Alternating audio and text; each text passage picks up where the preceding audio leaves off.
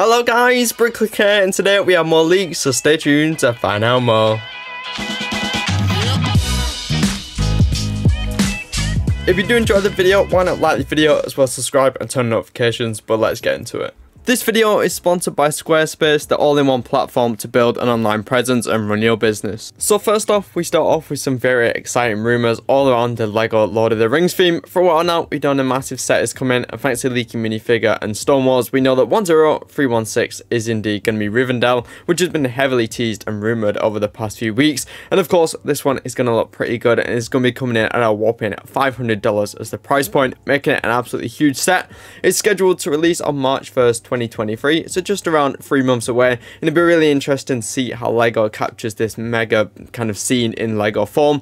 StoneWars are suggesting this one will probably be minifigures rather than microscale, but there is a chance they do it similar to the Hogwarts Castle as they are around the same price point. Of course, we are getting the BrickHeadz in January, so that's kind of warming us up for this massive set, which is scheduled to launch in March. I know there'll be a lot of hype around this one, and people really will be wanting minifigures. And another new set which is coming, of course, we only just got this one kind of revealed as part of the ideas theme being the Tales of the Space Age. But thanks to Promobricks, we already know that 21340, the Tales of the Space Age, is coming very soon and it's going to be coming in at a $50 price tag, including 688 pieces and should be launching in May 2023. Of course, the original model was really good, so I doubt they've had to do that many tweaks, which is why it is releasing so soon.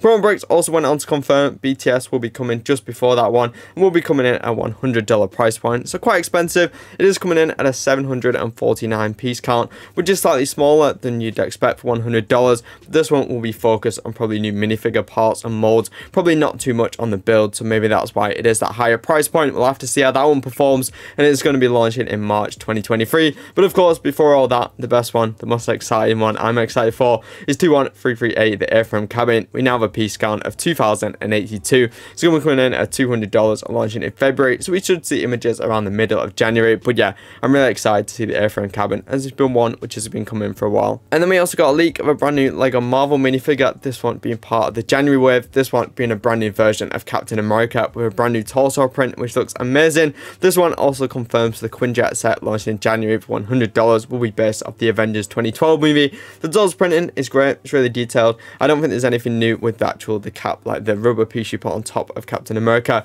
Not leg printing, but yeah, I'm really excited to see the other figures in that set, as well as the Quinjet. See pictures within the next week or so. And then, of course, LEGO Dungeons and Dragons, the ideas kind of collaboration is coming in 2024. Well, they've now narrowed it down to the finalists. These you can go and vote for on LEGO Ideas on the website, but the votes won't go too far in counting what happens. It's going to be basically LEGO is deciding which one is picked with Dungeons and Dragons. But obviously, if you a lot of people vote for one, then kind of get the idea. A lot of people want that one. So obviously, if you want to contribute to that, you can do. And then LEGO Dungeons and Dragons should be launching at some point in 2024.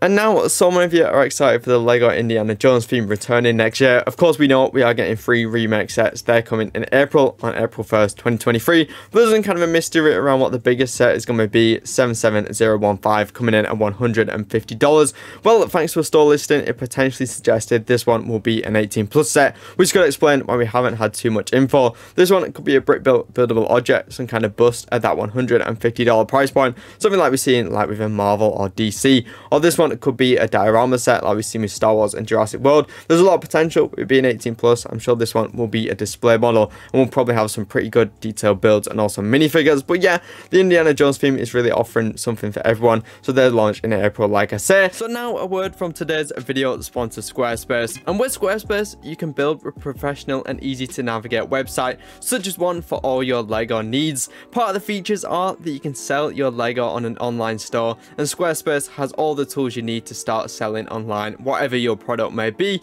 You can present your work using Squarespace's professional portfolio designs, display projects in customizable galleries like I done for all these new LEGO leaks. I'm excited for that Land Rover.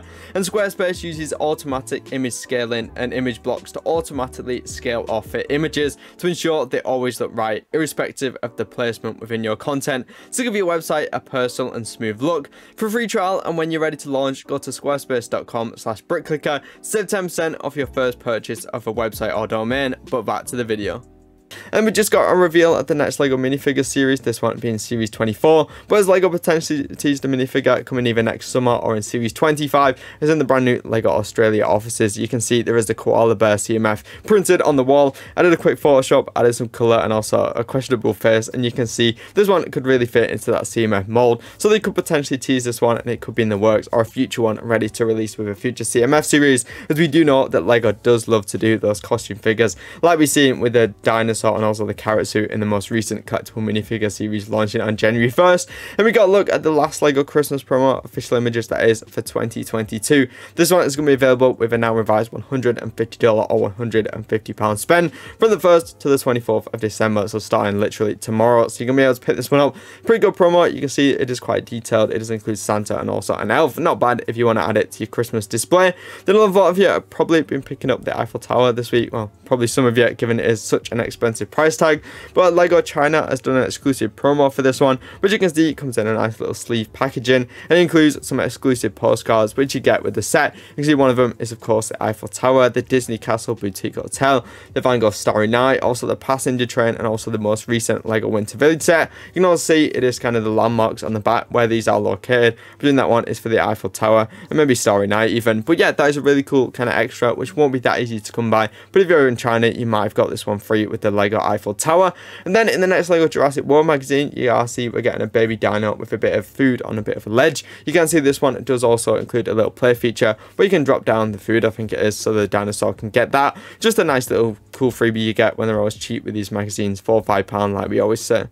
And then a few years ago now, LEGO introduced his LEGO Otter mold in a Harry Potter set, but we haven't actually had it recoloured into an actual otter. Well, that is all going to change with 60394, a new city set, being the ATV and otter habitat. This one is going to be including 90 pieces coming in for $10. Presume this one will probably include like two otters. That one is scheduled to release on January 1st, 2023. So very soon, we'll now be getting an updated LEGO Otter mold. Probably we'll see pictures within the next week of that one.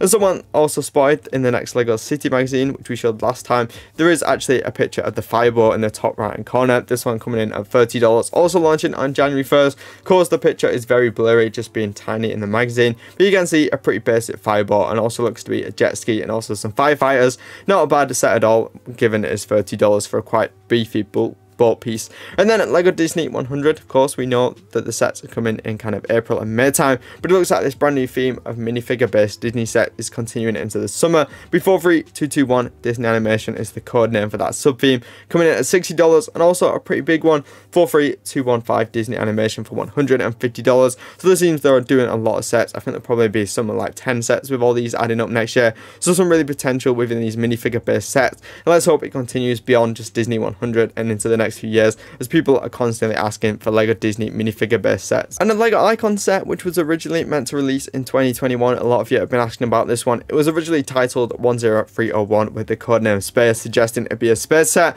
Well, we're almost at the end of 2022 now, so it looks like the set isn't going to be releasing this year. A lot of you have been asking, is it going to be? Well, it looks like it's not even going to be releasing next year. It's no information has come out by yet. We didn't even know a price or anything. It just happens sometimes with sets. When they get so close to release, there might be an issue, or they might just decide not to release it, and that seems to be the case with this one, sadly. Of course, there has been a lot of LEGO space sets extended into kind of what were to retired last year, are now retiring this year, potentially meaning there was just too many space sets on the market. I hope next summer, though, we'll see a new space set given people love these sets and we've got one almost two years ago now since we saw the last space set so let's be hopeful. But that was Muse 2022 leaks and rumors. Comment down below which ones you're excited for which ones are you not. Like video subscribe and turn notifications for more lego videos. And got news videos watch any of videos on screen now. Remember guys keep clicking and breaking. I'll see you all later guys. Bye bye